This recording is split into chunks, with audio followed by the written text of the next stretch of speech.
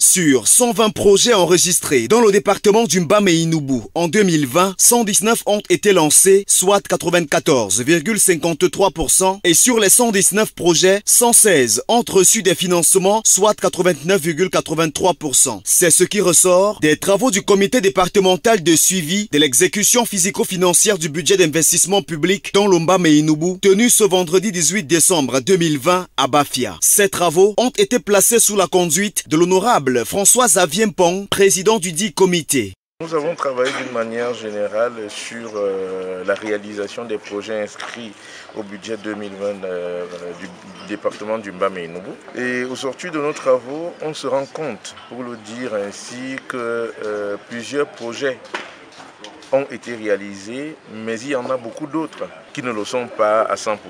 Et c'est pour cela que non seulement les entrepreneurs sont interpellés, mais aussi les maîtres d'ouvrage.